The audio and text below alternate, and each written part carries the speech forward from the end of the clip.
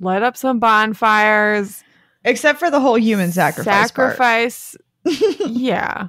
Well, there there are arguably a few people I wouldn't mind sacrificing. like, here's the thing. Based on where we're at in 2020, I mean, maybe we need a little human sacrifice.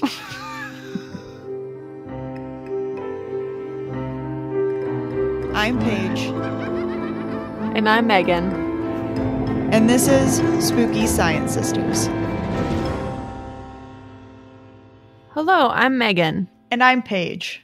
And you're listening to Spooky Science Sisters, a podcast where we present to you a science based and probably very giggly discussion on all things strange and unusual. In this episode, we're going to talk about the origins of some of your favorite Halloween traditions. Before we get to today's topic, however, we wanted to remind you to send us your spooky stories for special listener stories episode that we will be releasing in a little under two weeks, just in time for the big day.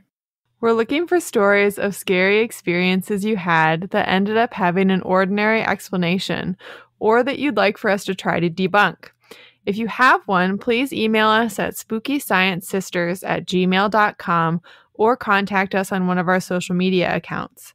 Additionally, we're asking listeners to help us grow by leaving a rating and or a review in the Apple Podcast app. It only takes a few seconds to leave a rating and it helps us a ton. We also want to plug some guest appearances that we've done recently. Both Meagan and I appeared on the Radio Wasteland show on Friday afternoon. Meagan was also recently a guest on Max and Cassie's new podcast, You Might Love This, to talk about her love of volcanoes and geochemistry. If you want to hear more from us after you finish this episode, definitely go check those out. And with that, it's time for something spooky. So, Meagan, did anything spooky happen to you in the last two weeks?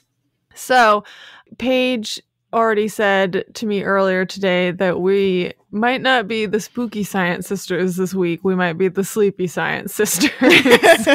um, because Paige had a very long day. I also had a long day. We, um, because of like an indirect COVID exposure in my daughter's daycare room, we don't have daycare for two weeks, which meant that I had to wake up at five this morning so that way I could go to work for a few hours and then take care of her while my husband worked because his schedule is is less flexible. So anyway, so I'm very tired. So my something spooky did not happen until this morning when I woke up. I took the dog for a walk at like 5:30 this morning when it was still very dark out and yeah, I mean, I'm we've already established that I'm like pretty good at creeping myself out. So it's like this is very possibly just nothing. But we were a couple blocks from the house and I live on like a semi busier road, but obviously it was still pretty quiet because it was really early in the morning. But I heard this like car coming down the street or vehicle coming down the street that was like rattling super loud. And at first, I thought that it was just like somebody who had like a piece of shit trailer or something hooked up to their car. But then I like turned around to look as they were coming towards us down the street. And it was like somebody's car who was like the front end was like totally fucked up. Like parts of it were dragging. They had no headlights. And yeah, they're just like driving down the street. and they sort of like slowed down a little bit when they got close to me, like almost like they slowed down when they saw me. And I was like, I don't, I mean, I definitely probably spooked myself out, but I was like, is it, did this person just like hit something and then drive off or something and like now I'm about to be murdered so I'm not like a witness to this run or something like that. So I got really nervous about it and it was really loud and like so I could hear them and I think they must have like taken like a left turn just down the road cuz you sort of head like towards the highway and stuff that way but for a little bit it like almost sounded like they were turning around and like coming back around Oh, So did I, you like, run? I like 100% hid behind a bush.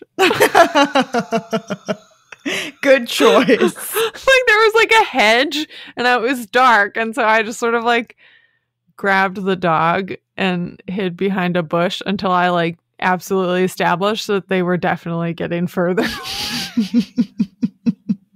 Oh, I don't know. I just had a really bad feeling about it. And I don't know. I was like, this is probably nothing. But like, then they tell you that people have gut feelings and it helps them. So, and it was like a little weird that they slowed down a little bit when they saw me.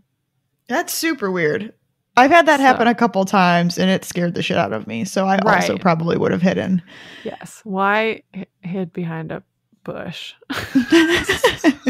anyway, yeah. So then I walked the rest of the way home and I was like very creeped out and just like listening for that rattling sound to come back down the road. And then, of course, like I heard sirens start to go off in the distance. And that always kicks off the like coyote pack that lives on the Mhm. golf course that's not far from us. So, like, they started making noise. And I was like, let's get out of here, Georgie. so terrifying. so anyway, it's uh it started out as an eventful day and then I chased my toddler around all day. Um and now I'm here trying to put together sentences.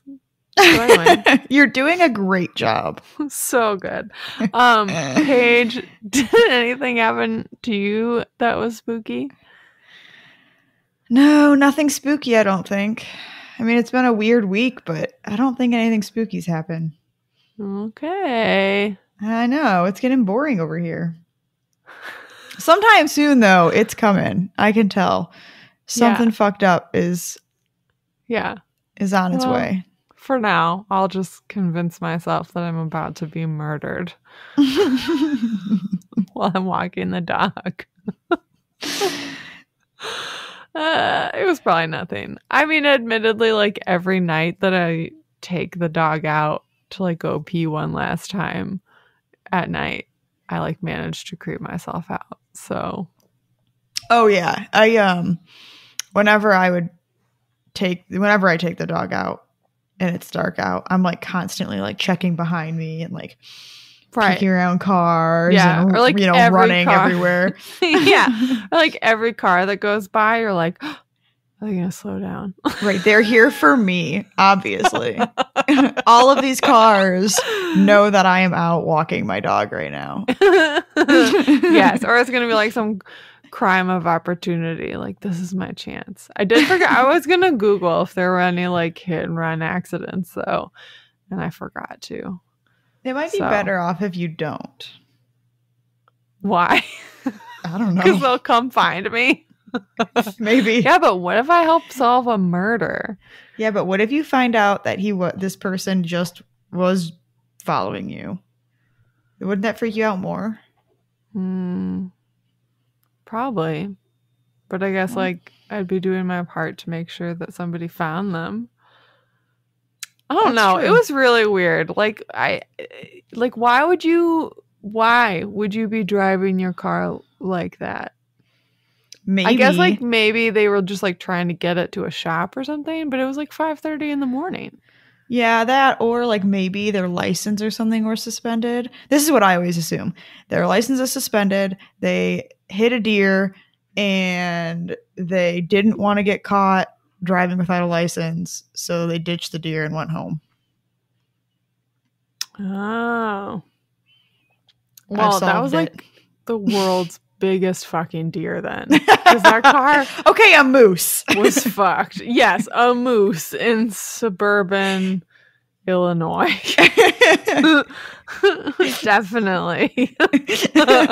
um anyway, it was it was a little weird. It was a little weird. I don't know.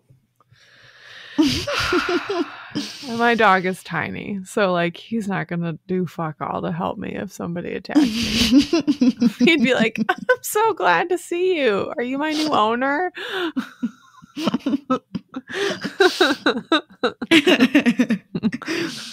Uh, At least I can Ari give you- would I was saying, you. give you my dog if you for a Yeah. bit. Speaking of my dog, hello Georgie. I know you good boy. Um. okay. so, um, this is the, I guess, no, yeah, second of our October episodes and our Halloween season, spooky season episodes. Was did we count vampires? That was the last one in September. yeah, because it released in October. No, it Did didn't. it? No, it We're gonna pretend it did, just for like today.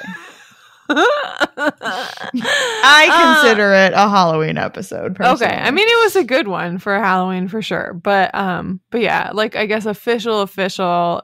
It's October, Halloween special episode stuff. This is the second one, um, but so I'm super excited. We've been like waiting for. I think I thought of this quite a while ago, so I've been waiting for months and months to get to do Halloween traditions, and yeah, so we should probably start doing that. I'm so sleepy. All right. So we'll start with a little bit of history about the holiday and sort of how it becomes the holiday that we know today as Halloween. So I think most people at this point are familiar with the fact that Halloween started out as this pagan festival or celebration called Samhain. Um, or I've also seen that some people pronounce it Samhain. Um, but this is spelled S A M H A I N. So you definitely want to say Sam Hain. Sam Sam Hain. and I only, I think I only found out that it's pronounced Samhain because they say it in the first episode of Outlander. So Yeah, I'm not gonna lie. I saw that in your notes and I straight up Yeah. looked it up because I'm like, there's no fucking way that's how you say it. that's how you say it. I know. I I, Yeah. fo- I found it. Now I believe you. Yes. So that is that's how you say it. Don't say Sam Hain. so it is based or Samhain is is this three day ancient Celtic pagan festival that would have occurred sometime around the end of October, 1st of November. The Celts lived during the Iron Age, which, oh, thank you, Paige, for filling in the dates for that, which was circa 500 to 332 BC in what we now know as Ireland, Scotland, the UK. So, Samhain, which in modern Irish means summer's end, was a celebration that marked the end of summer, the end of the harvest, and the beginning of the Celtic New Year. So their calendar year was actually divided into two halves, a light half and a dark half. And so Samhain was the beginning of the dark half of the year. So, you know, it's a time of death and rebirth to them, the end of this harvest period, the beginning of what was probably a pretty challenging existence in winter. And you sort of start to get these early uh, associations with this idea of, of, I guess, of death being associated with the holiday, because for them, it truly was like that period of time truly was a matter of life and death. Did they have enough stuff stored up to survive this, you know, cold, dark winter was about to descend upon them? So it's always, you know, it's just sort of naturally and for a long time been this spooky time of the year. But I guess back then, in a much more literal sense of like, is my family going to make it through the winter? yeah, it actually is kind of depressing. Yes. Yeah. That's the physical aspect, literal aspect of what's going on during this time of year. but they also had this this supernatural component to to it because they also believed that during Samhain time and space became flexible. And that's how one of the things I read put it, which I thought was interesting. But this idea that the veil or the divide between life and death or between our world and other worlds, and in this case, other worlds like the fairy world um, was at its thinnest. So it still has this supernatural element to it. Um, and I read that the way that this was often celebrated was that they were they would light bind bind fires. Bind fires. Yeah. They would light bind fires. bonfires. um and then also read that there was like animal and you wrote this too p- potentially human sacrifice um yes. and that they would just like essentially like get part party they'd celebrate get wasted um as you should um and then I had also read somewhere that people would wear costumes to ward off ghosts. And I didn't see it. that. I didn't see that in a lot of the articles I read. I think that was in um, the like the History Channel article I read, which you'll talk about a little bit. Uh, um, but then I also read another article or two that kind of made it sound like there's no actual and i think you're going to talk about this but there's no like actual evidence that any of this celebration occurred the, the way that we think it did or the way that it's written that they did. Yes. Yeah so that is what i was going to talk about next. So this is all yeah what we think that they did and what they've been able to garner um through, I guess, the literature or the history that's available. So the origin and the particulars of what happened during this Samhain festival are a bit mysterious because the Celts didn't keep written records. So what's available is this folkloric literature. Uh, like the Celtic sagas. And you also had writings that were done by Roman authors because at one point the area was incorporated or i guess conquered is the better word um, into the roman empire but they likely wouldn't have i guess done a true or done a faithful job of of transcribing these stories or transcribing these traditions. And in one historian's words they they probably would have trashed the traditions. So yeah, so we don't really know exactly what happened. This is just what they've been able to, what historians think went on.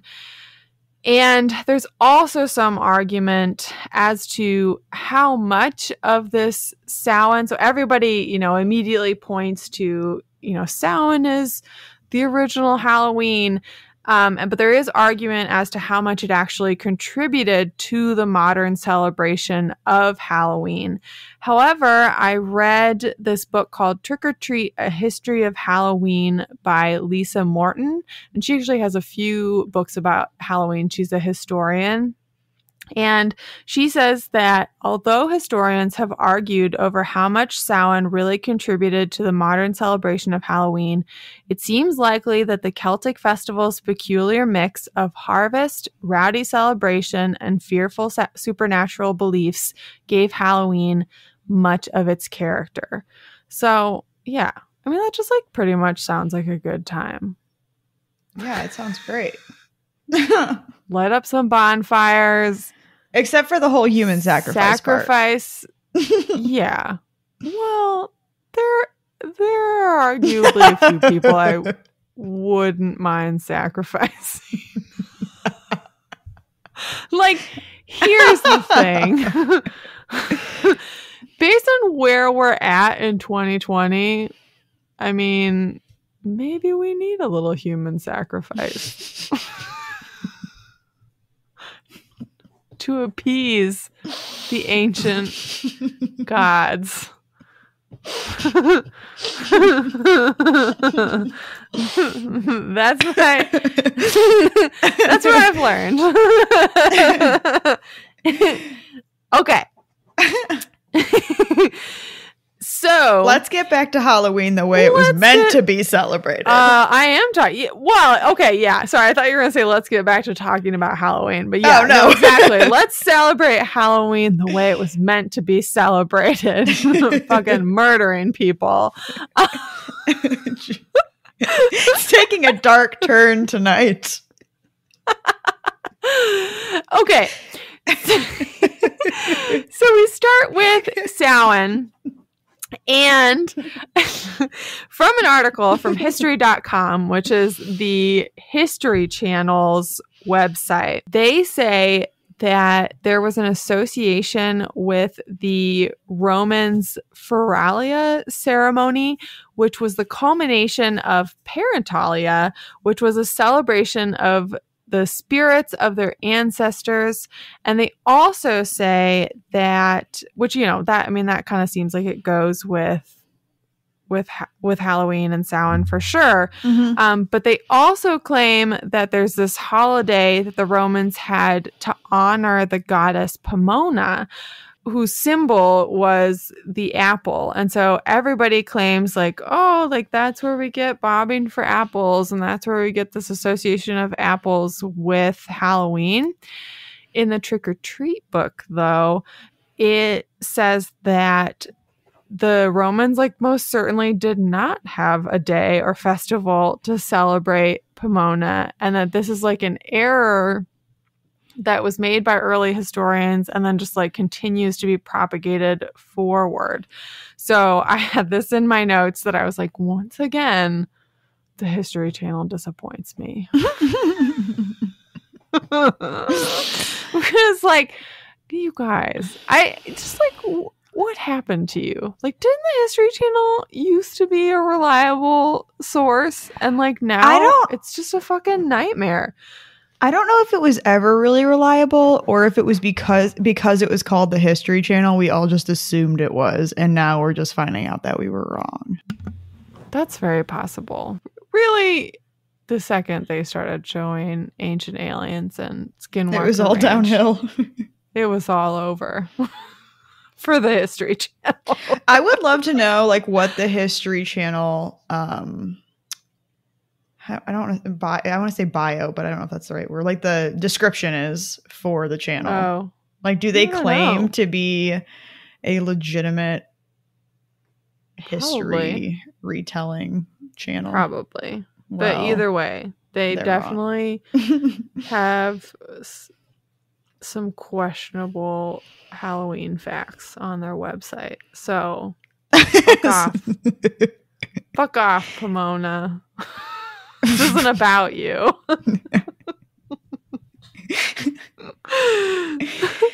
All right.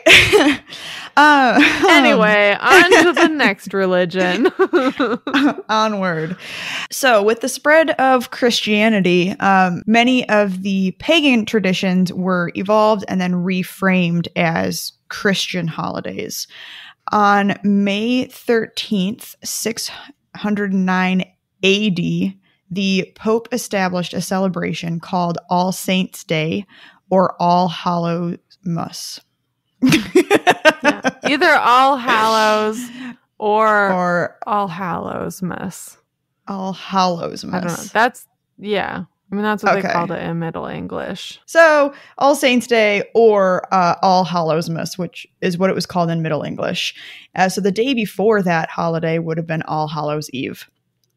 And basically, what they did is they took a pagan holiday called Lemuria uh, that occurred on that day, May 13th. And like I said, they just kind of reimagined or adopted it and turned it into this Christian holiday. So Lemuria was a day where Roman pagans would try to placate their dead. And I think in their belief system, they believed that ghosts or lemurs, I guess, lemurs, I have no idea, would come up and haunt people. So, in order to try and make them not do that, I guess, they'd pour milk on their graves and they would offer them little cakes, which reminds me of magicians.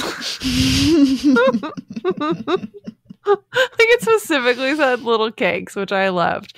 Um, but yeah, like Paige said, this is the Pope and the early Christians saw it as rather than try to fight against the pagan religion and which like I'm sure they also did but in terms of establishing you know Christianity they found that it was better to reframe the pagan holidays and retain some of those traditions versus just like completely bulldozing them because it made it easier to convert pagans. Because they had success with kind of adopting the Lemuria holiday, uh, they then moved All Saints Day in the middle of the 8th century to November 1st in order to kind of take over the, the Samhain traditions.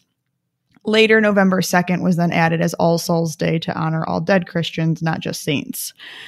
Uh, this is important because it gives Halloween its association with death and the supernatural. So before this, um, I mean, I don't really. Do you know a whole lot about what All, All Hallows Muss was prior to like what the celebration was or like what the day was? Well, so All Saints Day is yeah to honor Catholic saints or Christian saints. And then they added All Souls Day, which, like you said, was like everybody who's dead and who was Christian, or I guess in this case, specifically Catholic, to honor them. So it just like it really, I guess, emphasizes that this is a festival about honoring your, um, honoring or celebrating, I guess, the people, the Christians that you've known that have passed on it gives Halloween as we know it this association because there was definitely this you know sort of supernatural you know the veil between life and death is thin with the original pagan celebration of Samhain as well. Uh right. Well, that's Halloween. Yep. that's at least Halloween up until the Middle Ages sort of. And so now we're going to take a look at how that history gets us to the Halloween traditions that we have today. So we have several of those that we're going to talk about. So the first one is, you know, I guess sort of the big one, right? We carve jack o' lanterns, we carve faces into pumpkins. And this uh, is supposedly related to a piece of folklore, uh, a story about a guy named Stingy Jack. so, Stingy Jack is a trickster and I don't know, just just not a great guy. And he tricks the devil and i think there are they're saying that he the he tricks the devil like multiple times like once to delay the devil taking his soul and then again later but he tricks the devil out of taking his soul but when he finally dies he was not a good guy like i said so heaven also doesn't want him. so he is condemned to wander purgatory. Um, but the devil gives him a piece of hellfire. And in some of the versions, it's just he gives them a lump of coal. But either way, this is to light his way as he wanders purgatory for eternity. And he puts this in a carved out turnip.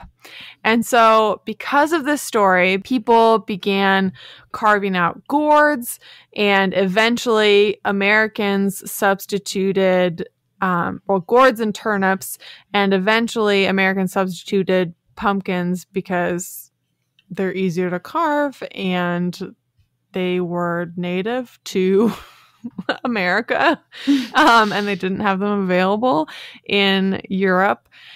And the idea was that they were either put out to sort of scare evil spirits or it was, you know, thought that they would like confuse Jack, like he was out and about on the night. But the name comes from, you know, he's Jack of the Lantern, and then eventually it gets shorted to shortened to Jack o' Lantern. And that first Jack o' Lantern reference comes from uh, author Nathaniel Hawthorne. I love this story. I think And- it's fun. I actually didn't know about the turnips until like we first started looking into this. Did oh, you? really? Yeah, I had no idea. Okay. I'd Um, seen pictures of like, yeah, like the turnips carved before. They're Which like fucking seems like a real pain in the butt. they're terrifying and I've decided that that's what I want to do from now on is carve turnips. yeah. Yeah, Have you I ever mean- seen a turnip in real life? good point. I mean, like they exist, but like But they're but like have you ever gotten one? Yeah, like they're Small. Yes, I have Like, seen one and good point. well, I just mean like, okay, my point was not like, oh, you fucking idiot, you haven't seen a turnip. It was, like, it was more like they're so tiny. Like they're Right. more like potatoes, right? Like they're also roots, aren't they? yeah, they're pretty. Yeah, they are, Yeah. and they're Yeah, So They're- not it's like- pump- they're not like pumpkins or squash or whatever, where they're big things that are easy to carve. They're like they're. I mean, you can have big turnips, but like yeah, they're more like I guess potatoes. yeah, they're they kind little. of look like giant radishes, don't they? Sort of. uh, I don't think. do I really know? Do I know what a turnip looks like? It's A radish is more like round and purple, isn't it? I thought a turnip was more like it's like a. in- I think I would say it's in between They like look like giant radishes. radish carrot. Tell me I'm wrong. Google turnip right now. It looks like I guess it depends on the variety of turnip. But yeah, your radish carrot is looks like this one picture. yeah, yeah. They would be super hard to carve, but that's kind of why I want to do it. Yeah. Cuz like there's no like there's no pulp in them. Like they're more like a potato texture, I would think. Yeah, how or would even you yeah, like you said like a carrot texture or radish texture. Like how the flip are you going to carve that out? I've never eaten a turnip though. I will say that I've eaten a radish, had- and I think they're oh. disgusting. But Oh, I like radishes. But I've had turnips like cut up into like baked vegetables and stuff. They're good, but Hmm. they don't taste that different from potatoes. Huh. Okay. Well, we're hopefully going to be together for Halloween. We're going to carve some turnips and we will post the results. it's gonna be we're gonna have turnip carving contests. And I've just now decided. is a good chance I'm going to give up halfway. okay. You heard it here, though. We promise. Mm-hmm. Yeah, even if we're not together, you better buy some fucking turnips and you're going to carve some turnips. I'll do it. Okay. I'm very excited. But anyway, yeah, the the legend. I keep saying like folklore. I have no idea what I'm talking about. The story, the legend of of The- Stingy Jack, the the legend, folklore, the myth, the legend of Stingy Jack. the man, Um, stingy Jack. it's a good one though. It's a fun story. So, and I didn't write down the super detailed version, but and like you know, we're supposed to be spooky science sisters, and it's like there there's no science behind this. Like this is just this is just superstition. The- We're just the spooky sisters tonight. We're just the sleepy spooky sisters. okay, Okie dokie. tell me about trick or treating. Yeah, the next one that we took on was trick or treating. And there are like a lot of stories as to how or why trick or treating has become a thing. Yeah. Um, Which sort of suggests to me that it's like no one fucking knows. Nobody knows what's going on here. um, so some people argue that the origin is from the pagans leaving out goodies to bribe or placate the spirits or other creatures out during Samhain. yes. And then a little bit later, the idea of trick or treating is potentially related to medieval Christian traditions. So people were encouraged around the festival or holiday of All Souls Day to pray for souls stuck in purgatory. And were told that if enough prayers were offered, then a soul could ascend to heaven. And I had some like questions about this. Like, were we praying for specific people or was this just like sort of like generally? Like how how did these souls that are ascending get chosen out of like all the ones in purgatory? It had you had to have been praying for specific. Yeah, but like how would you know? Anyway, Oh, that's had- a good point. I had some questions about the Well, just random ones get get chosen. You, you were no. right. Like I it- I was just a little confused about the logic behind this, which I mean I I probably should just accept it. you were you were gooder than some of the other souls. I guess so. Um but anyway, so this leads to um children and beggars going souling door to door. And like the word is actually souling which i think is a really weird word. Um but they would do this in exchange for something called soul cakes which were spiced cakes filled with raisins which sound delightful. In exchange for these the beggars would say that they would offer up prayers for these souls in purgatory. But like again that's like weird. Like here maybe i'm just an asshole. Like i'm thinking like uh, again like if if you took somebody's soul cakes did that mean that your prayers were like going specifically towards people that they knew? Or were we just sort of like doing this for the general good of souls in purgatory? I'm going for general good. That seems to mm-hmm. make the most sense. i guess so Even though anyway yeah. Yeah. That's It's what we're fine. going with. It's fine. But anyway, I had, I had some I had some questions about the logistics behind how purgatory works, but I'm just a heathen, so I guess I just don't know.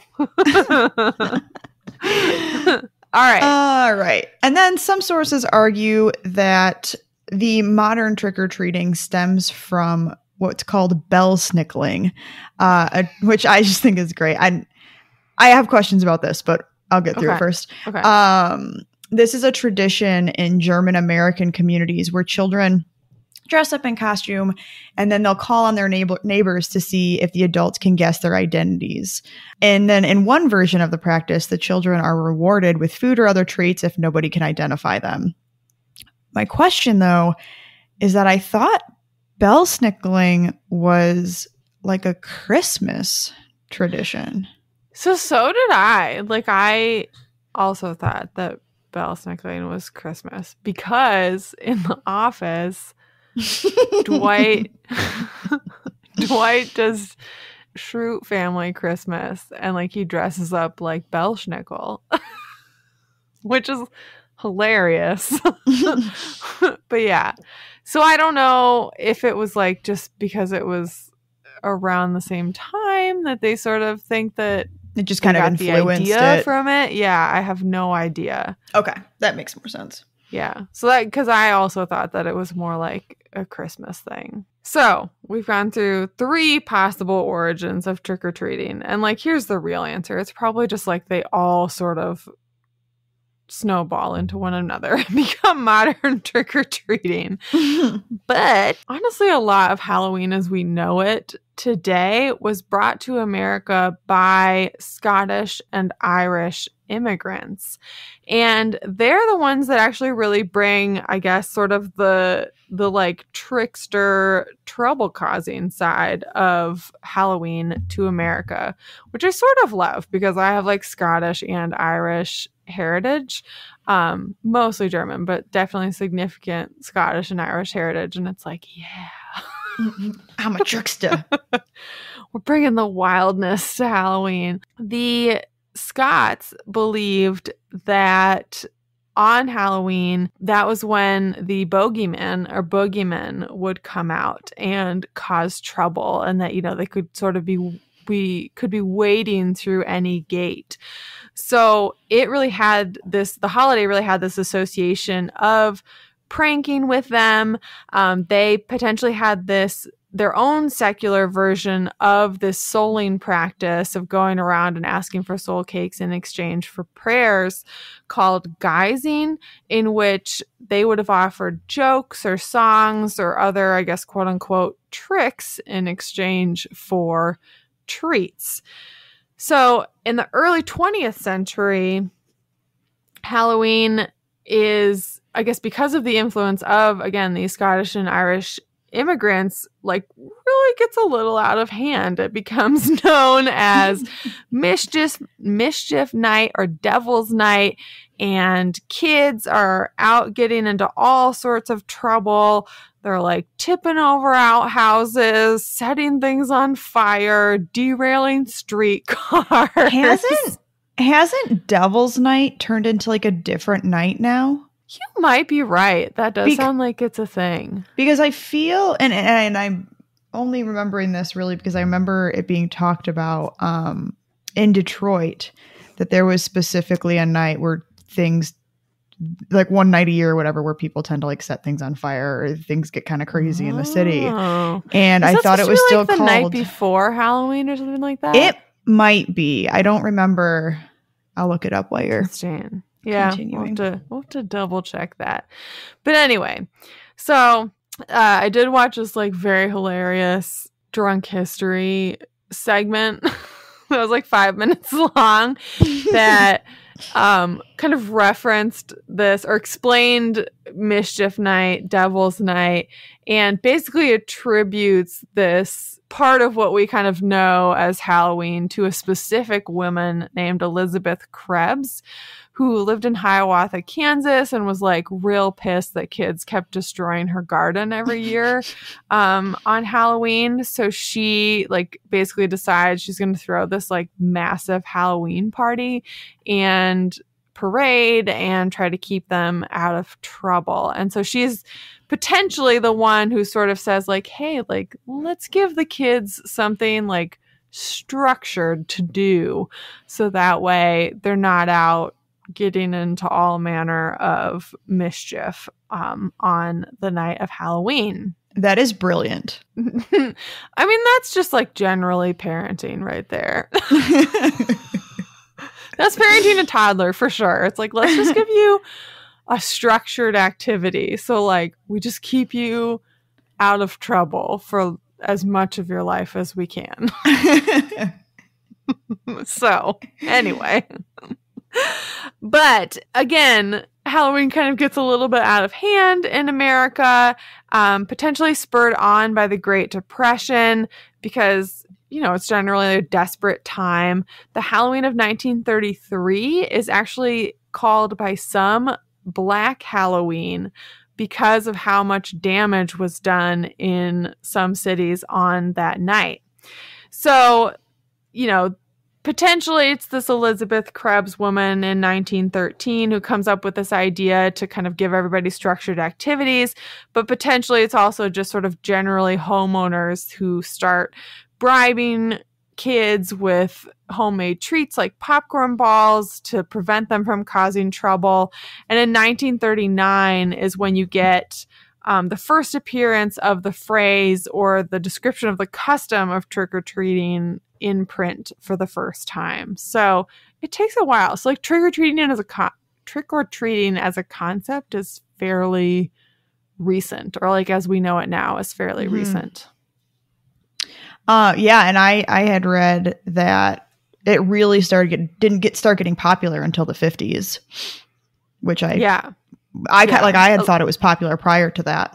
Right. And like popular, I guess, in like the commercial, the more commercial way that we know it. Now. Right, right, right. yeah. So then I looked specifically into like why candy? Like why did candy become the treat that everybody gets now? Um okay. and until the middle of the 20th century, it there really was like kind of anything that you would get for Halloween. And I've gotten some of these things, but um, people would get toys, which I think is cool. Like I would have wanted toys as a kid trick or treat everywhere you go. You get a new toy. Yeah. Um, so it, some people would give coins, fruit, nuts, uh, like you said, popcorn balls, any of those kinds of treats. It wasn't. It really wasn't candy that was given out. Uh, but with the rise of the popularity of trick or treating in the 50s, uh, it inspired co- candy companies to make a marketing push with small, individually wrapped pieces of candy. Um, so then, basically, out of convenience, people just decided to buy the candy. Uh, but it didn't really dominate other treats for trick or treating until parents started fearing really anything that was unwrapped in the 70s. So the 70s is when all the the scares, I guess, started happening, or the stories started coming up about people doing weird stuff to candy or doing weird stuff to unwrapped things. Um, so people Ah. turned to candy. Got it. I so when I was a kid trick or treating, I can remember getting like some quarters sometimes. I definitely remember getting like popcorn balls, but I feel like they were like they were like pre-packaged ones. Like you can still buy those in stores. Um, but they're yeah, they're like pre-packaged individual things. Like I I don't have any distinct memories of getting like homemade goods at all from I anybody at the point in time when I was trick or treating. Yeah, I remember there was one man who always gave little Debbie's. Um, there were a couple places that I got fruit, like apples and stuff. And Yeah, I you definitely know, got an apple at one point. definitely had to throw those another. away. Um, and then I, I think there was like somebody who gave out like cans of soda, but other than that, everything was candy. Yeah. I never got any coins. That would have been kind of cool. Yeah. Which is like sort of funny because like kids fucking hate getting produce and stuff like that, like apples or fruit or whatever. And it's like produce is fucking expensive. Like, depending on how many like as an adult, depending on how many trick or treaters you were getting, if you were giving out apples, like damn. right, right. Just give a damn bag of Skittles. It's cheaper. It probably is to give like to even give full size candy bars. It might be cheaper depending on the apples that you're giving out. Um, I am like 99.9% sure that I'm about to tell you a true story, but there's 0.1% of me that's wondering if maybe I just made this up some night in my sleep. Uh, but I would swear to you when I was younger and we were trick or treating, there was a house that we called the doll house, and it was this older woman who lived there. And her entire living room was like floor to ceiling display cases of porcelain dolls. This sounds like something you dreamed. I'm like pretty sure this is a real thing. And now I am going to try to find someone who yeah. Would would Steven remember. Ah, I don't know. I don't I know I used to go with like Michelle trick or treating, so she'd probably be the best person to ask. But Okay. You'd like go inside this woman's house? yeah, she had like buckets of candy and you would get like a handful from each bucket. Like inside it was the shit. house. Yes, That's like the shit. how you get murdered. I know. So that's why I'm not really sure if I'm making this up. But but I would swear to you this happened and it was like my favorite house to go to. Okay. Did you have any neighbors that would like dress up and try to scare the shit out of kids? I don't remember anybody really doing that. No, I mean I've done that, but I don't think anyone's ever done okay. that to me. Okay. I do, but I think today I'd, like get in trouble for it, Yeah, probably. which is a bummer. All right. Well, yeah. So here's the here's the thing. Trick or treating, we've got four different possible origins, but again, they probably all combine into what we know today or what we do today. Okay. So our next big tradition is that people wear costumes on Halloween. So I think Paige mentioned this before, but again, it's like nobody fucking knows where the Halloween traditions came from. So it's just sort of all over the place. There are like different things. Yeah. Which is funny because you read articles and people are like, you know, people put very, you know, written in stone statements in their articles. And it's like, but you really don't know. Anyway, so the pagans would potentially disguise themselves from, and I read this a few places, from otherworldly creatures like fairies um, or ghosts that came out during Samhain so that they would be left alone. So again, it's it's got this like I mean it's still got this it's very supernatural trickster association with it. You didn't want the ghosts to pick on you. So you would dress up like a ghost so they'd be like, "Oh, it's just another another ghost." Just I'll another them ghost. Just just another ghost. Okay, so then in medieval times, we're on to this All Hallows Eve, All Saints Day, All Souls Day, three day festival. Um, so again, that three day festival really continues because Samhain was three days as well. But this is potentially when beggars got rowdy and drunk on Hall- All Hallows Eve. And it was basically convenient for them in that case to hide their identities and hide any bad behavior by wearing a mask.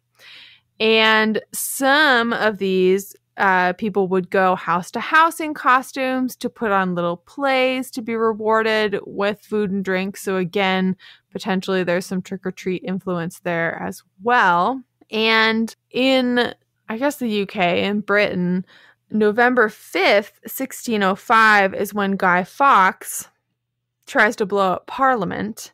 And he is captured and tortured and eventually hanged. And as part of this research, I found out that he was like tortured so badly that they had to like carry him up to the platform to hang him because he was like in very bad shape. So, Hey. not great for him. And that he like wasn't even really the like he wasn't the end all be all mastermind of this plan. So he sort of gets scapegoated a little bit. Anyway, big aside. So November 5th, remember remember the 5th of November becomes bonfire night and they, you know, turn it into this big thing where children wear masks. They wear Guy Fawkes masks to mock him and they burn effigies of him and they um they run around causing mischief. So I guess some things thought like or some things sort of suggested that this like contributed to the costume wearing on Halloween whereas other things that I read sort of suggested that this was something that was basically like pulling people away from the Halloween traditions. So a little bit unclear in that Huh. respect. And in the US, of course, costumes get commercialized and they become part of this effort to try to try to tame things a little bit because people are getting real pissed about their stuff being ruined or about things getting set on fire. so again, you know, you have these publications coming out um, from companies saying, you know, you should host a Halloween party or you should have a Halloween parade and dress your kids up in costumes. And Anoka, Minnesota, which I found about out about this not too long ago, like maybe a couple months ago, and I'm like very pissed that I've lived in my in the Midwest for a significant portion, the majority of my life really. And like nobody has told me that I've been within driving distance of a place that has had a Halloween parade every year since 1920 and bills itself as the Halloween capital of the world. so that's our trip after Salem, right? Yes. Okay. Yeah. well, oh, yeah. Here's the thing, listeners.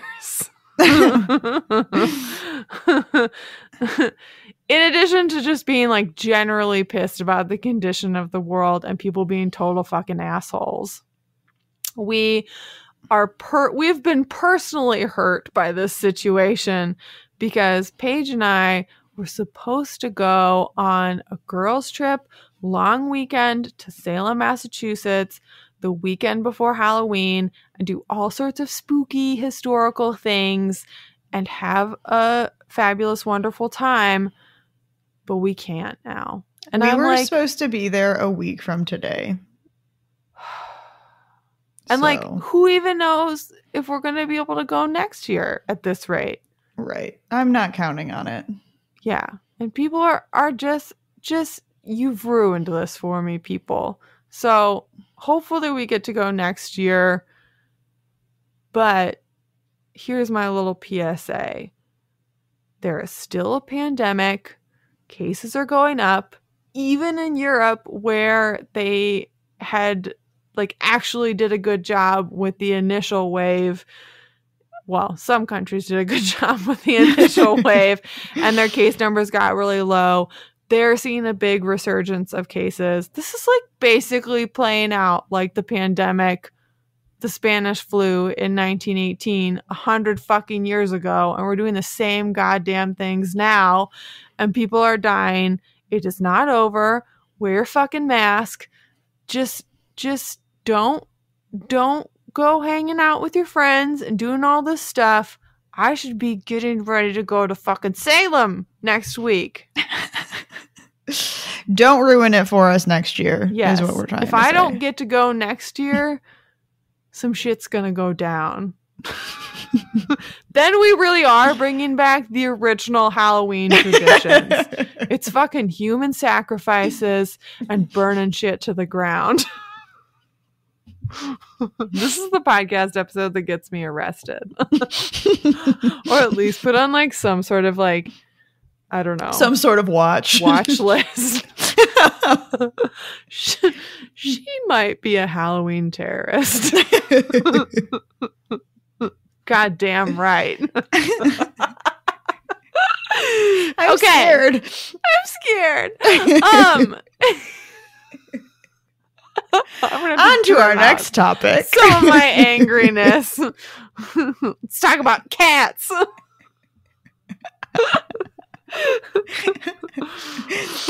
Okay, so yes, the next thing we're going to talk about is black cats. And I guess this like isn't just a Halloween thing. This is just like a general like superstition type thing that black cats are bad luck or that black cats are scary or evil.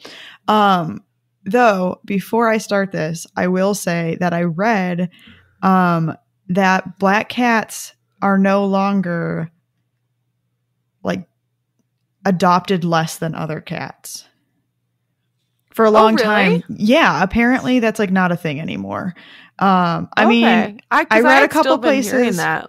yeah, and apparently, a cou- like I read, I read a couple places that it was still the case, and then I've read, I think it was the ASPCA, I think said, I'd have to go back and double check that, but I definitely read that like that is no longer the case. So, I mean, that doesn't mean you should stop adap- adopting black cats.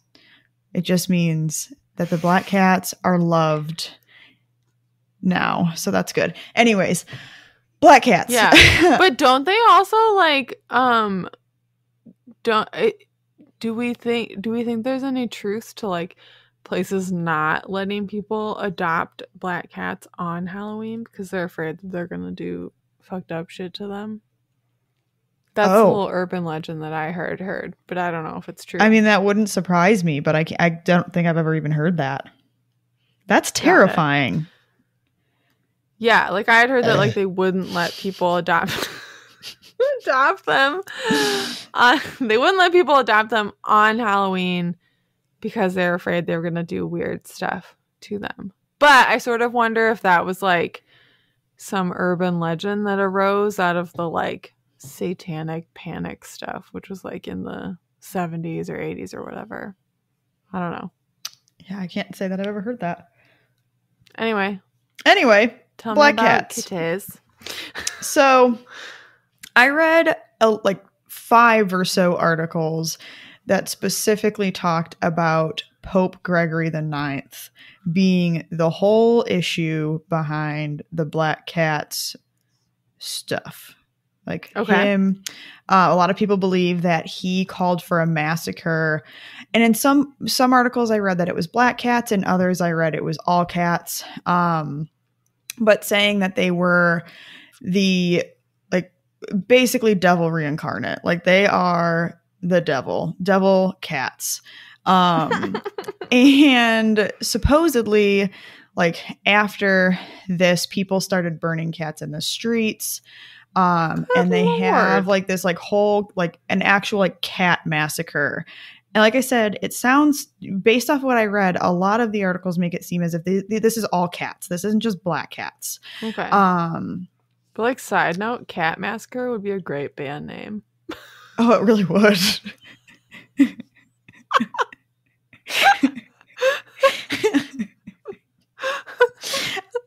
Anyway.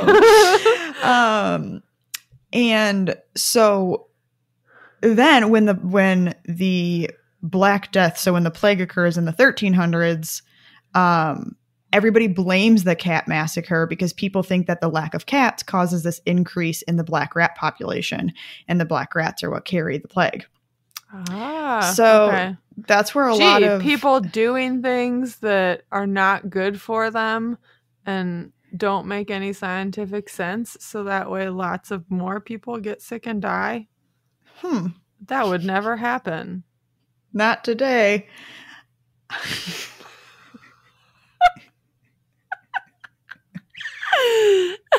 anyway.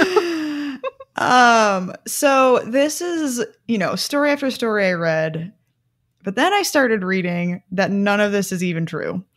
Um and it's i can't i mean i don't know you know i wasn't there obviously. I can't say i don't know that anybody now can but um ba- they're saying that there maybe it's true but that there's nothing really to prove that it is. There's no evidence to show that a cat massacre ever occurred. Um there's maybe some drawings or some art that show people you know burning a cat or doing weird things with the cat. Uh, but there's also lots of you know that same evidence a lot of pictures a lot of art that's done with people having cats as house pets. So um, it's hard to say whether or not this cat massacre really happened and and even if it did whether or not it was specifically black cats or if it was all cats.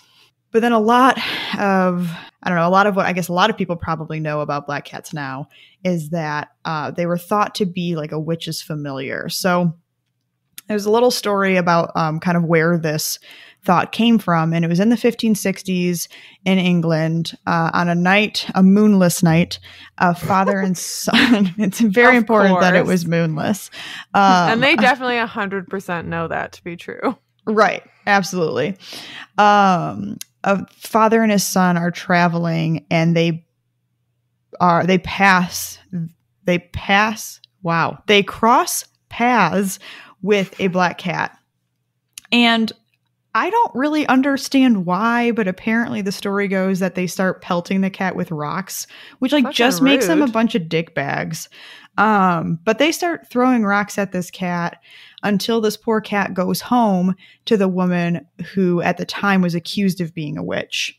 The following day, the father and son saw the woman who lived in the house, and when she came out of the house, she was limping and bruised. So they assumed that witches could turn themselves into black cats at night to roam around unobserved.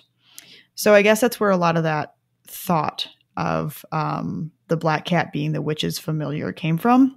got it so basically But- these guys are just like fucking animal abusers Right. and then they also turn out to be misogynists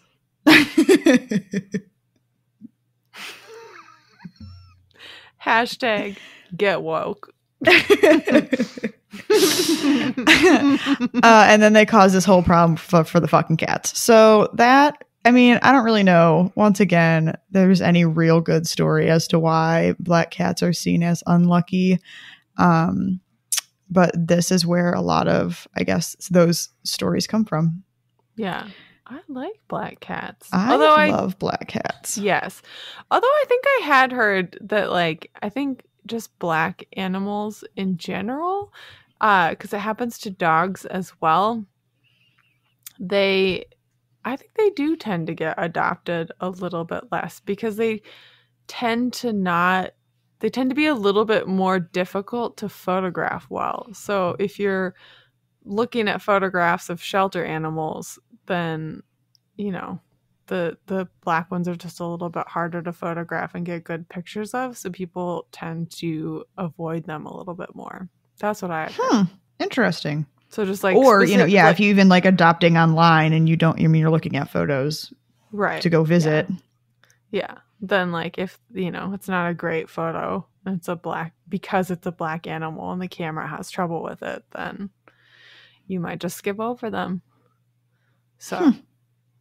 I like specifically would want a black cat though. yeah, I love black cats. Yeah.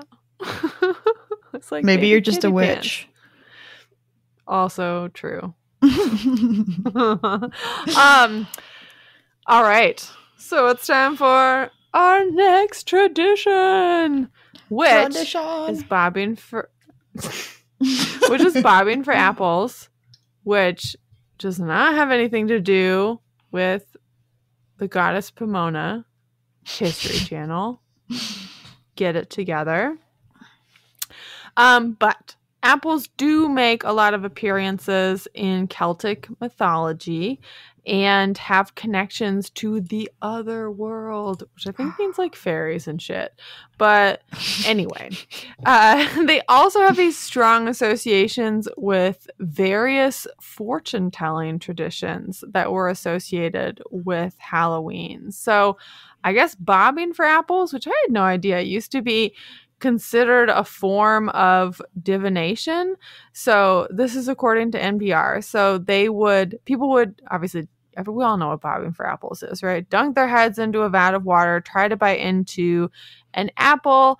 Um, but women would mark the apples with names, I guess, of like potential future spouses. And then whoever's apple they pulled out would be the person that they would marry.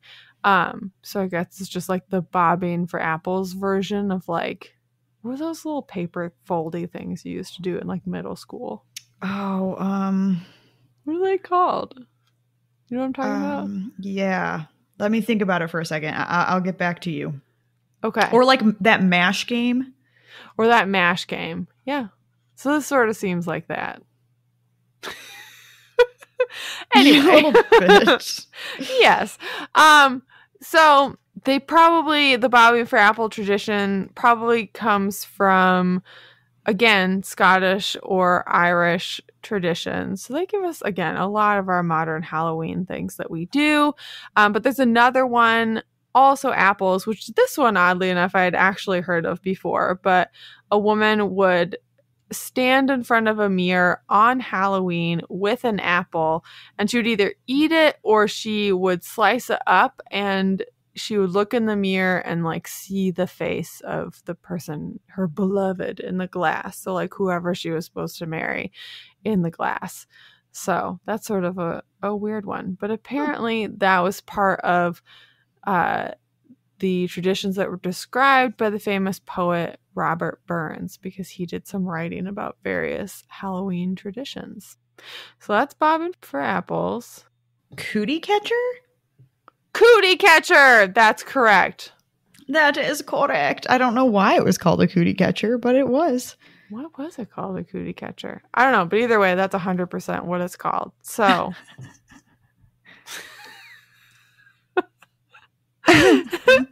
okay. we bob for apples. We also light things on fire because bonfires are a big part of Halloween. Although, like, I feel like, it, are they a big part of Halloween anymore? I don't I don't know. thi- I mean, they're a big part of my life, but I don't know they're a big part of Halloween. Yeah, like I feel like that must be an older tradition. I don't know. So the thing listed like bonfires, candles, but like we said before, bonfires they lit big ones during the Samhain festival. And you know, part of it was they were performing potentially well, they're sacrificing or burning certain crops and animals as sacrifices to their gods. There was apparently fortune telling. Paige said they might have worn costumes. And one of the traditions that they mentioned was that people would take the coals from the sacred fire, this big bonfire that had been lit by the druids, which I think were basically their priests, and use it to relight their fire at home, which would have gone out while they were out celebrating and getting drunk with all their friends. So, I think the one thing about uh, this about bonfires that I guess definitely passes to today is that these big bonfires probably would have attracted insects, and insects means that you attract bats. So some people say that we get this association of bats with Halloween because of these bonfires.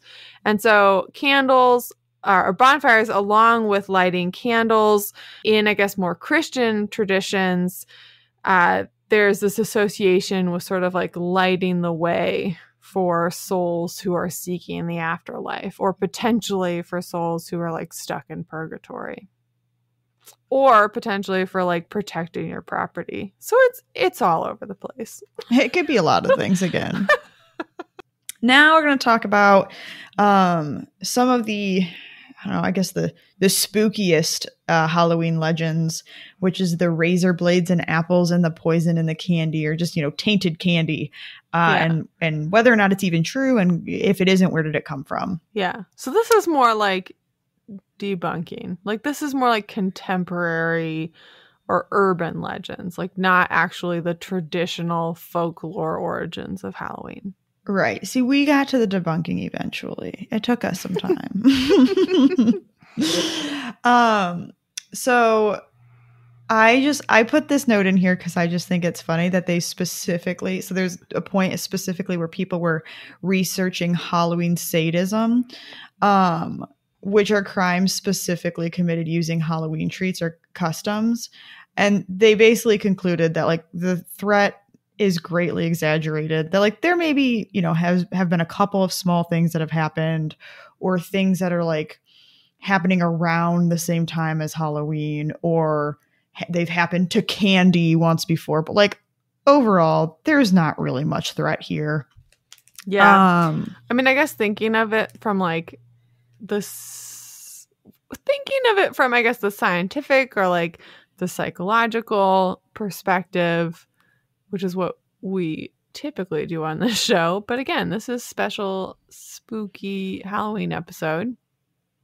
I would think that yeah, a lot of it is probably just coincidence, right? And like people thinking that these things are like noticing these things more around this time of year. And so it sort of like becomes this association. Yeah. Or yeah or maybe like people are more tempted to like do weird shit because again they have this like subconscious association of like this is when i'm supposed to do these things you know? right. Yeah. Yeah. So. well yes though i don't even think there's there are many things that have even happened truly on halloween. Like a lot of it um, a lot of the research has shown that it's you can't even link it to halloween or it happening on halloween. It's just a lot of it is candy. Like because it's candy, I guess it's linked to Halloween somehow. Um, Speaking of candy, I just opened up a apple pie Kit Kat bar. Ooh, which is a special one that they've released for this fall. So anyway, um, not great. well, it is what it is. Um, something I've learned in my however many years, five years in the flavor industry, is that pumpkin spice is like really fucking hard to get right. Mm, okay. It's like really because you have to get like all the green notes in there, and it's just like really the pumpkin flavor is really tough. So anyway, got it. This is apple pie flavored though. Oh, I thought you said pumpkin pie. oh yeah, is it witch's so, brew? Um, no, it just says apple pie. I don't oh, know fuck. what witch's brew is. he didn't care about pumpkin pie at all. anyway. No. but I appreciate the story about it. Thanks. Okie doke. Um So, some of the stories uh, that have kind of been linked to this fear about poisoning candy.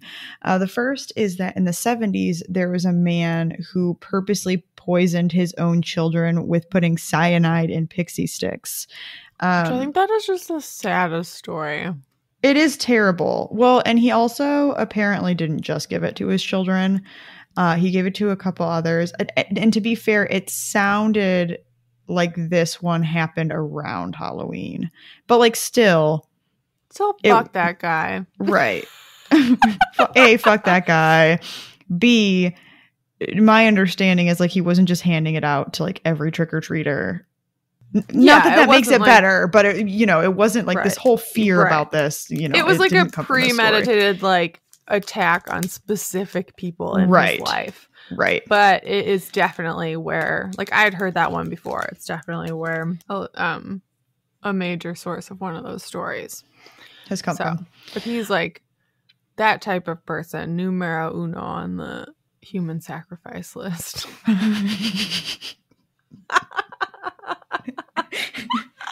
Wow. Although I guess presumably if you're gonna do like human sacrifices, like you gotta sacrifice the good people, you know? right. Like the gods don't want like the shitbag people. They want to know like you are willing to sacrifice the good people. So this changes everything for you, I hope. Are you still willing to sacrifice people? Um yeah. That makes it tough.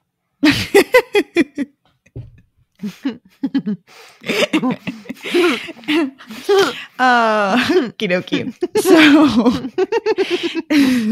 Tell me Uh, more about candy.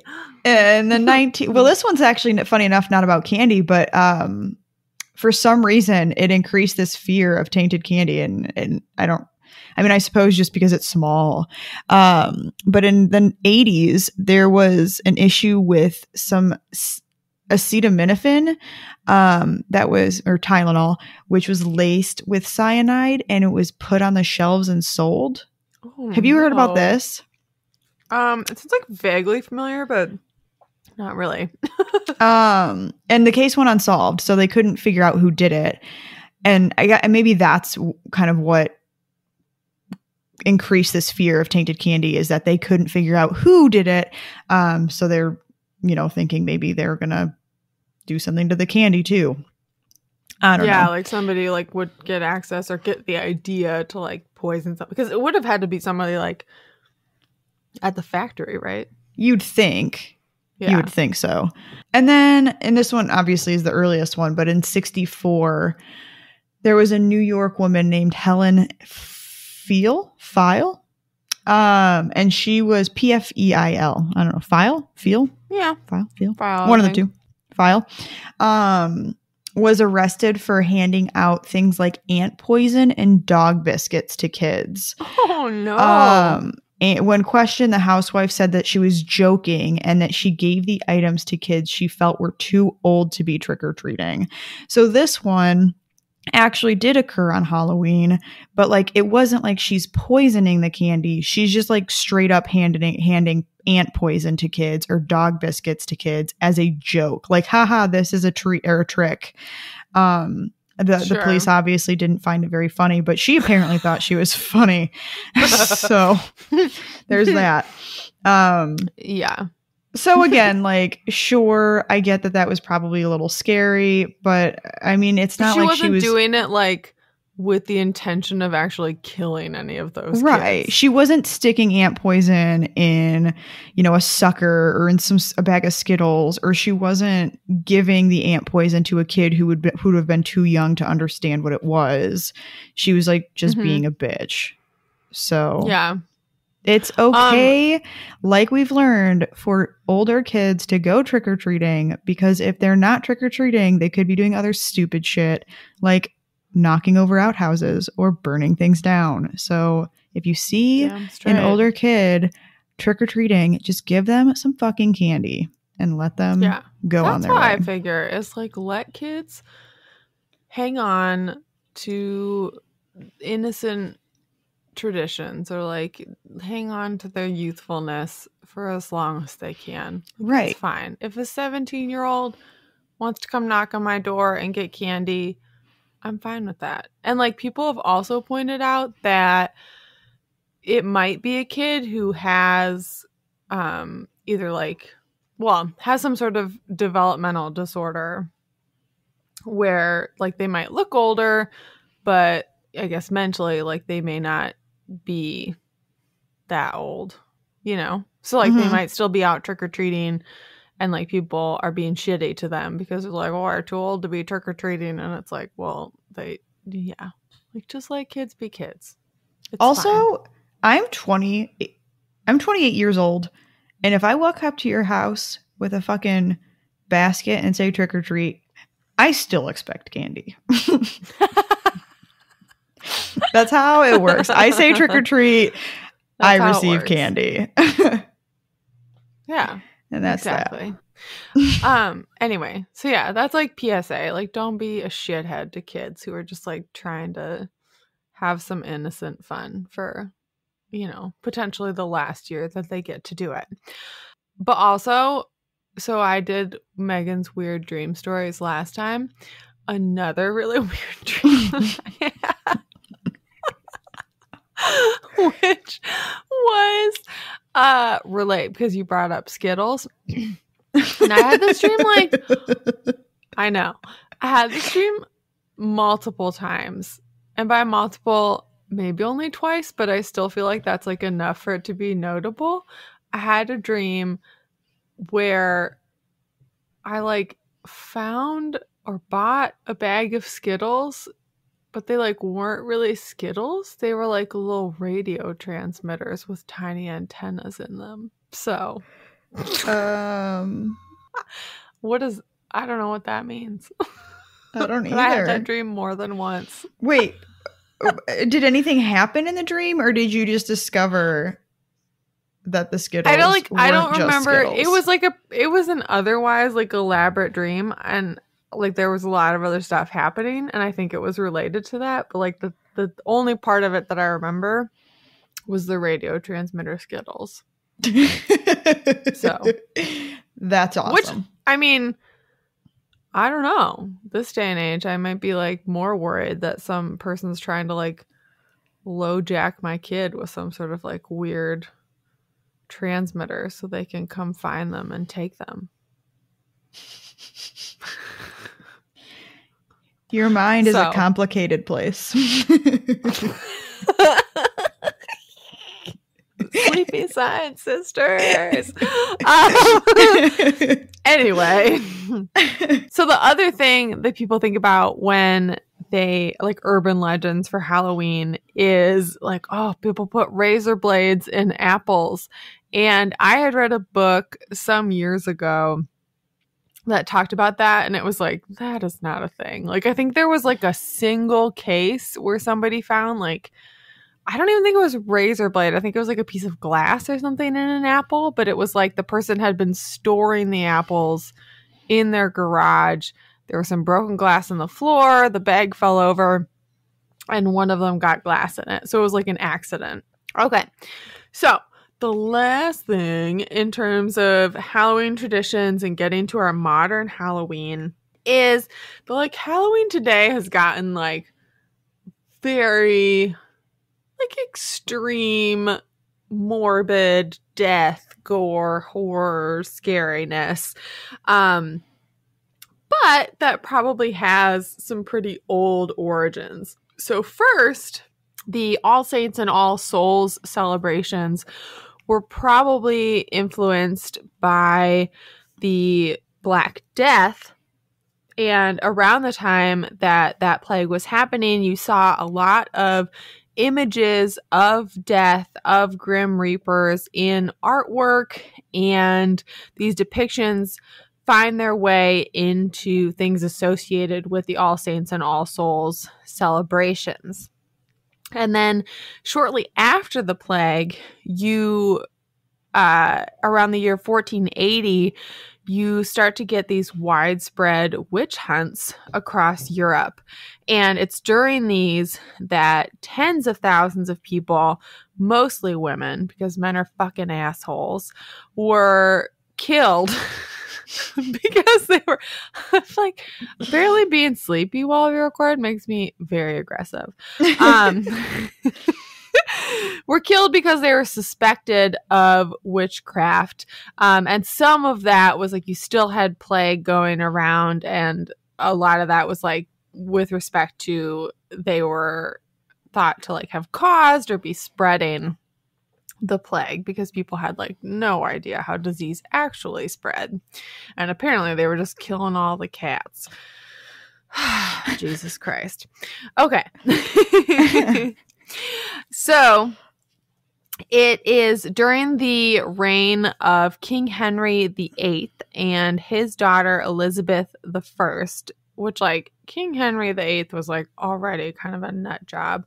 Um, but he uh, is the one who, or it's during his reign that All Hallows Eve is identified as a time when witches would gather, or it's like identified as some sort of Sabbath to them. But probably what this is related to is he had beef with the Vatican uh, and wanted to separate the Church of England from them and viewed All Saints' Day as a papal holiday. So this was sort of a way to distance the Church of England from that holiday or try to. And so, another quote from that book, Trick or Treat A History of Halloween, says more specifically about witches a spe- spectacular witch trial took place during the reign of the Protestant King James I. In 1590, dozens of Scots were accused of attempting to prevent James from reaching his queen to be, Anne of Denmark, by gathering on Halloween night and then riding the sea in sieves, sieves, riding the sea in sieves, while creating storms by tossing live cats tied to human body parts into the water. After the infamous North Berwick witch trials, as they were called, Halloween was forever to be firmly associated with witches, cats, cauldrons, brooms, and the devil. Okay, so, two things. One, Okay. why is everyone so fucking mean to the cats? I don't know, but there's like a whole Netflix documentary called Don't Fuck with Cats. So apparently we don't put up with that shit anymore. Right. We don't fuck with cats anymore. And then my other thought is like, once again, there's this discussion about cats, but it's not specifically black cats. Right. I just, I don't know. It bothers me. I don't know where the black cat thing came from. I don't know. I mean, Because basically everything earlier was like, not, they're all just stories. That's all Right. it is. right. I'm just looking for You're looking for meaning where there's not any. where there's only superstition and people who don't don't have science to explain anything. Yeah. You're right. I just feel sad for the black cats. I know. Poor cats. Although like to be fair, I've known some cats who are real assholes in my life, so Fair. All right. Uh, and then I thought it was interesting that I read that in America, this sort of, you know, modern association of Halloween with all things dark and death and gore and everything uh, may have been influenced by the Civil War and the fact that um, during it, but also after it ended, you had huge numbers of people who just never came home. And you know people didn't get confirmation on whether or not they were dead. They just never came back. So it made sense in that time that people sort of like told a lot more uh, ghost stories and ones that were especially ones that revolved around people sort of like coming back to you know, their home or whatever because they were preoccupied with this idea that like their lost relatives, you know, might return or they wanted them to return. That's sad. That's very sad. Yeah. so, yeah, I only laugh because that's my coping mechanism. uh, fake laughter hiding real tears. yes. Always. Okay. Well, do you have any other thoughts about Halloween? I have a uh I have a quote to end us on here. If you don't. Uh, I do not. I think I think we've covered the major traditions and talked about the history of the holiday, and it was a good learning experience. No. yeah, no, it was. Sorry.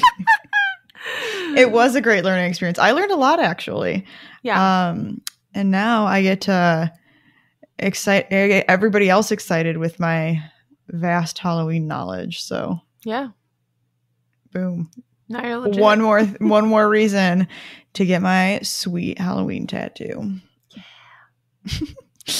All right. Um so I just I don't know why I wanted to end on this little quote here, but I read uh, an article by Maria Marzolo and um, the, the title of the article is This is Halloween, the True Historical Origins and Meaning. And basically, I mean, she, she kind of covers a lot of the stuff that we just talked about, um, but also covers that a lot of it is kind of, it comes from a lot of places and it doesn't really make a whole lot of sense. And um, that there's no real evidence that some of this stuff happened. So at the end, it's almost like an opinion piece where she talks about what her thoughts of what the meaning of Halloween is.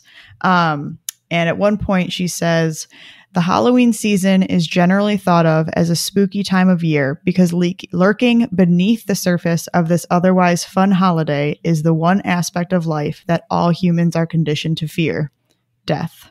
And I just thought that was kind of heavy and spooky. Yeah. Although I think I had heard that listening to not that specific quote, but yeah, that idea listening to um the folklore podcast, one of their Halloween special episodes. And yeah, this idea that like zombies and all this stuff is like because people are less religious, it, it's definitely related to sort of us confronting the idea Yeah, that we're all confronting gonna it and, die like- and like what's gonna happen to us afterwards and stuff. right. So- And giving us a way to like make it fun And not just think sad and terrible. Yeah. Exactly. exactly. Before we wrap up, I wanted to put out one last reminder to please send us some spooky stories to our Spooky Science Sisters email or social media pages and keep listening to see if you hear your story make an appearance around Halloween. Also, we've moved our final segment to the very end of each episode, so if you want to listen to this week's short and spooky, stay tuned after our wrap up. So that wraps up episode 13 on Halloween traditions. Tune in next time for our special Spooky Listener Stories episode. If you like this episode, hit subscribe and share with a friend. You can find us on Twitter and Instagram at Spooky SciPod, Facebook at Spooky Science Sisters, and at our website, SpookyScienceSisters.com. If you have any questions about previous topics or ideas for future episodes, email us at SpookyScienceSisters at gmail.com. It's time for Short and Spooky. Yay! So I did this week's short and spooky.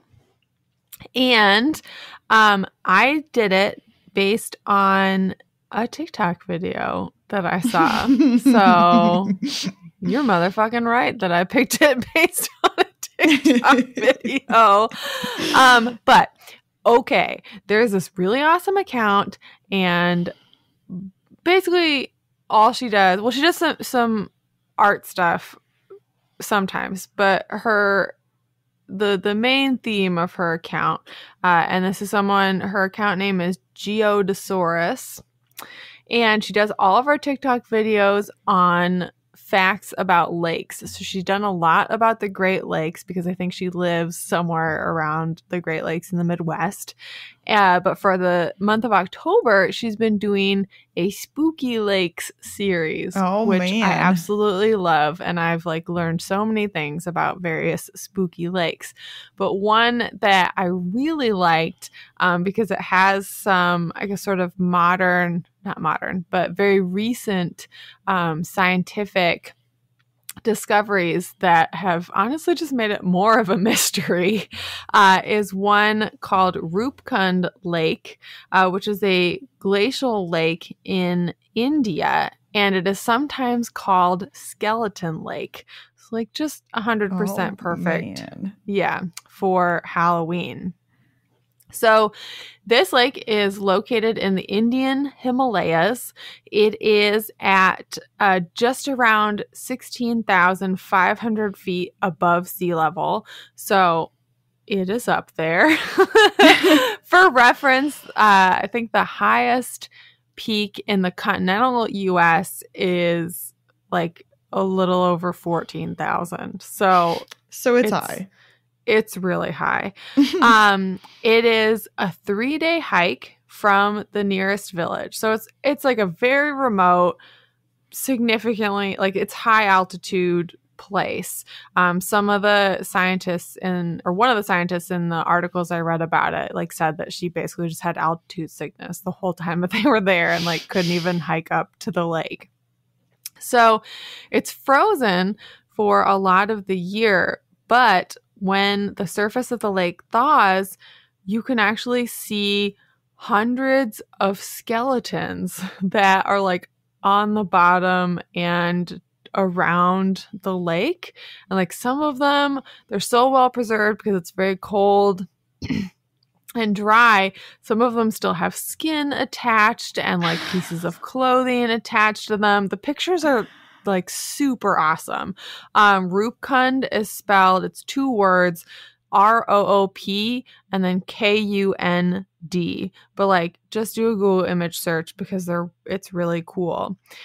So originally it was proposed that all of these people died at the same time in like some single catastrophic event that occurred uh, around a thousand years ago. And one of the, I guess, popular interpretations based on uh, injuries that they observed in some of the skeletons were that there was like some sort of like freak violent hailstorm that you know this these people were traveling or you know they were all together up in the mountains and they got caught in it and you know they died and now now they're in this lake.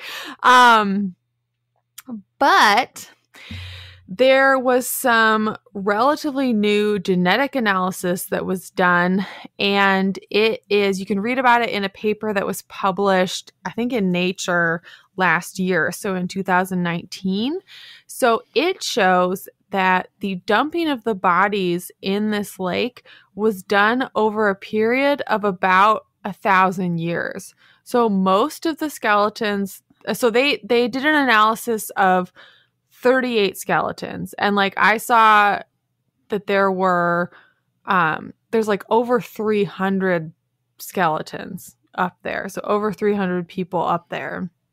So most of them died around a thousand years ago but some of them were they did radiocarbon dating and they died as early or as recently as the early 1800s so it's like a huge amount of time That is That- amazing. I mean, terrifying, I'm sure. Right. Like it's like the weirdest thing because it's like j- j- like the time like that's totally different like cultures and everything. And so not only do you have these skeletons from like this very wide time range, but you they also showed that they had variable genetic makeups. So some of the skeletons uh, have genetic makeups that are more similar to like Mediterranean heritage, so like modern day Greece, uh, instead of what they should be, which is like South Asian. There's also a third distinct group from Southeastern Asian, uh, Southeastern Asia.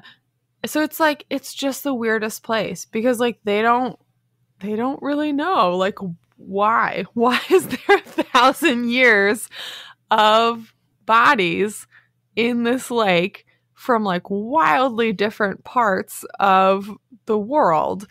Um and this study was done on just a subsect of 38 of these you know 200 to 300 plus skeletons. So it's like who knows how many other geographic areas or you know time periods are represented Right. um, in the skeletons that are there. that is really cool. I, I don't know. I don't know if "cool" is the right word, but Yeah. It's like simultaneously very creepy, but like also Awesome. super cool. so I guess it's a difficult site for anthropologists to interpret because uh you know people do go up there to hike like recreationally and so it's been disturbed by hikers over time.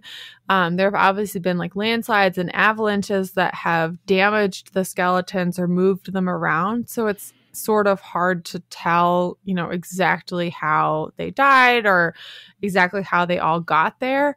So you know some people have thought well maybe it's just like these are all people who died because you know it's high altitude there's pretty dangerous weather patterns that can happen.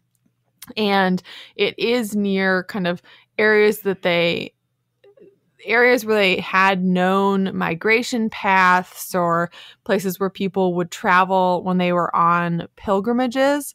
So potentially like it's just sort of people died while they were out on that or groups of people died while they were trying to migrate and then avalanches or landslides or whatever just like collect all the bodies and all the skeletons into the lake but i think other anthropologists like that's one interpretation but a lot of anthropologists think that it's just such a large concentration of skeletons right. and so it's like unlikely that they weren't put there on purpose.